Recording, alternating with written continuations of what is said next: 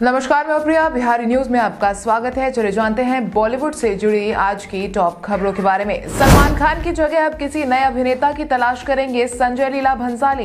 इंशाल्लाह करीब 20 साल के बाद एक बार फिर संजय लीला भंसाली अपने पसंदीदा हीरो सलमान खान के साथ एक लव स्टोरी पर बेस्ड फ़िल्म बनाने जा रहे थे, जिसका नाम है अल्लाह भंसाली की इस फ़िल्म में सलमान खान के साथ आलिया भट्ट नज़र आने वाली थी, लेकिन फिर सलमान ने इस फ़िल्म को करने से इनकार कर कर दिया और ये फ़िल्म बंद हो गई। हालाँकि इंशाह अल्लाह के लिए भंसाली ने प्री प्रोडक्शन का काम शुरू कर दिया था, लेकिन अचानक सलमान का फ़िल्म करने से इनकार करने पर भंसाली ने इसे फिर कभी ना बनाने का फैसला किया और आलिया भट्ट के साथ गैंगस्टर ड्रामा गंगूबाई कठियावारी शुरू कर दी थी।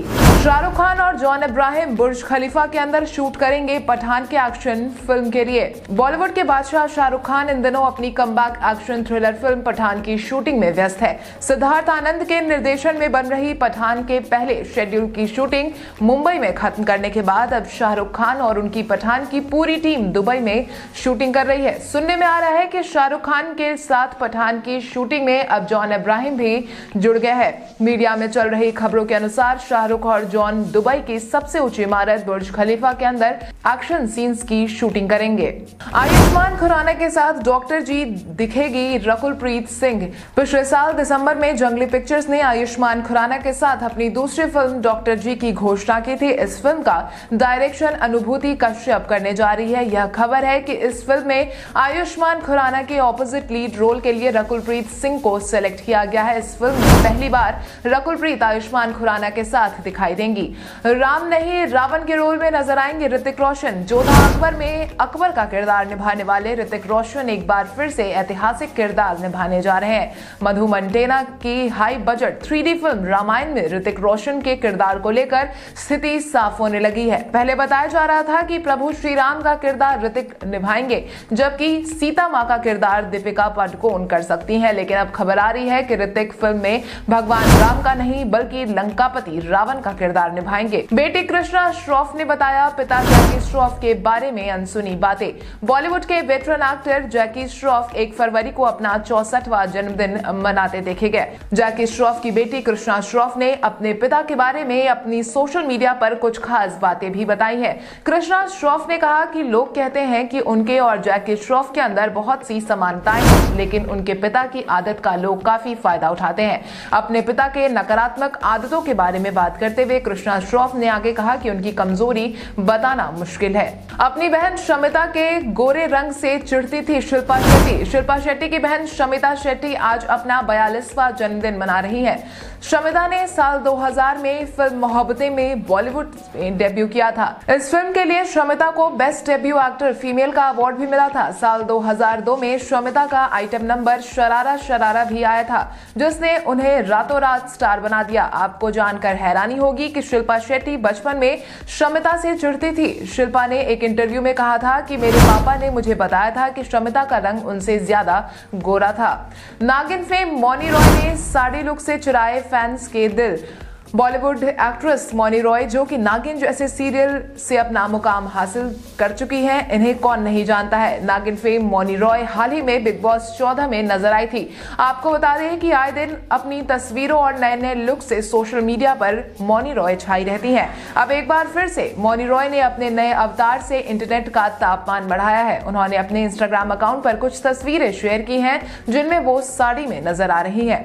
सोनम ने साझा किया, आनंद ने कब और कहा किया था शादी के लिए प्रपोज? बॉलीवुड एक्ट्रेस सोनम कपूर आए दिन सोशल मीडिया पर कुछ ना कुछ शेयर ज़रूर करती रहती हैं।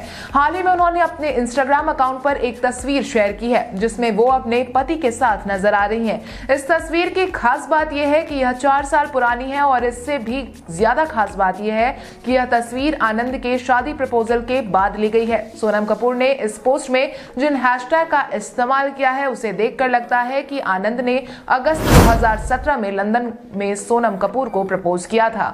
हर लड़की की पसंद है सोनाक्षी सिन्हा की, ये कूल से लेकर क्लासी लुक। बॉलीवुड अभिनेत्री सोनाक्षी सिन्हा आजकल सोशल मीडिया पर खूब तस्वीरें शेयर कर रही हैं। उनकी ये फ़ोटोज़ काफ़ी कूल हैं। इन फ़ोटोज़ में वो काफ़ी सिंपल आउटफिट में नज़र आती हैं। सोनाक्षी का ये कूल लुक आपको भी ज़रूर देखना चाहिए और अगर आप कहीं घूमने जा रहे हैं तो अपने वार्ड्रोब में ऐसे कपड़े ज़रूर रखें। निया शर्मा ने फ्लॉन्ट किया अपना लहंगा लुक फैंस बोले जहर। निया शर्मा को कौन नहीं जानता? टीवी की ग्लैमरस एक्ट्रेस हैं। उनकी फ़ोटोज़ अक्सर सोशल मीडिया पर धूम मचाती है। एक्ट्रेस का ग्लैमरस लुक लोगों को खूब पसंद आता है। आजकल एक्ट्रेस इंडियन वियर में फ्लॉन्ट करती नज़र आ रही है। उन्होंने लहंगे में अपनी कई फ़ोटोज़ को शेयर किया है, जो की काफ़ी वायरल हो रही है। निया इन फ़ोटोज़ में काफ़ी खूबसूरत लग रही है, जिसे आप भी अब देख सकते हैं। अपने डॉगी के साथ दिखी प्रियंका चोपड़ा, वायरल हुई तस्वीर। बॉलीवुड एक्ट्रेस प्रियंका चोपड़ा हमेशा सुर्खियों में रहती हैं, लेकिन फ़िलहाल वो अपनी हाल ही में रिलीज़ हुई फ़िल्म द व्हाइट टाइगर को लेकर काफ़ी चर्चा में है। फ़िल्म रिलीज़ होने के बाद भी एक्ट्रेस लगातार किसी न किसी तरह अपनी फ़िल्म के प्रमोशन कर रही है। इस बीच प्रियंका चोपड़ा ने अपने डॉगी को लेकर सैर पर निकलते हुए देखा गया है, जिसकी एक फ़ोटो भी उन्होंने अपने सोशल मीडिया अकाउंट पर इंस्टाग्राम के ज़रिए शेयर की है। प्रियंका सोशल मीडिया पर काफ़ी एक्टिव रहती हैं। वो लगभग हमेशा अपनी कोई ना कोई फ़ोटो इंस्टाग्राम पर शेयर करती रहती हैं। राजमौली और बोनी कपूर के फाइट में पीस मेकर बने Ajay Devgn. Baahubali director S S Rajamouli और फ़िल्म प्रोड्यूसर बोनी कपूर के बीच पिछले कुछ दिनों से तलखी देखी जा रही है। आपको बता दें कि जब से राजमौली ने अपनी upcoming film are are are को रिलीज़ करने का अनाउंस किया है। उसके बाद से बोनी कपूर उनसे सख्त नाराज़ नज़र आ रहे हैं। बीते दिनों बॉलीवुड हंगामे से बात करते हुए बोनी कपूर ने कहा था कि राजमौली ने अनाउंसमेंट के बाद मैं बहुत ज़्यादा अपसेट हुआ था।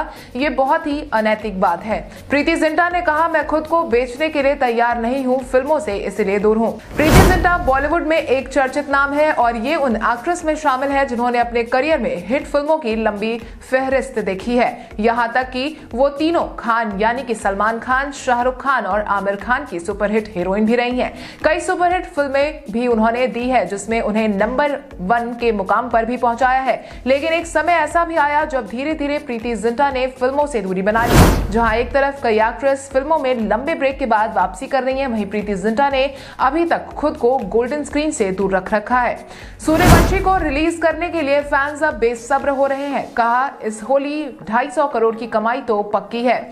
जैसा कि हम सब जानते हैं, कोरोना काल को देखते हुए सरकार ने सभी थिएटरों को बंद करवा दिया था, लेकिन जब से सरकार ने 100 प्रतिशत ऑक्यूपेंसी के साथ थिएटर खोले जाने की घोषणा की है, तब से ही दर्शक सूर्यवंशी की रिलीज़ डेट का इंतज़ार कर रहे हैं। रोहित शेट्टी के निर्देशन में बनी बहुप्रतीक्षित फ़िल्म सूर्यवंशी को लेकर फैंस अब बेसब्र हो रहे हैं। कभी इसे होली पर रिलीज़ करने की अफवाह सामने आती है तो कभी गुड फ्राइडे पर।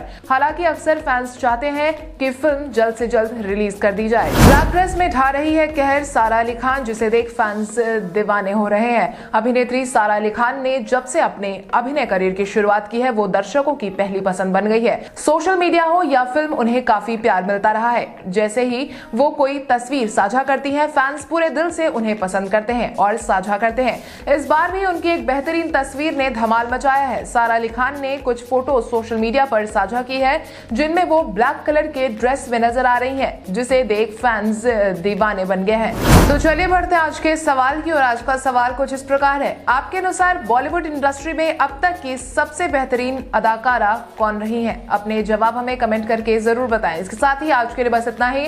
बॉलीवुड की तमाम बड़ी खबरों से अपडेटेड रहने के लिए हमारे यूट्यूब चैनल को सब्सक्राइब करें। धन्यवाद।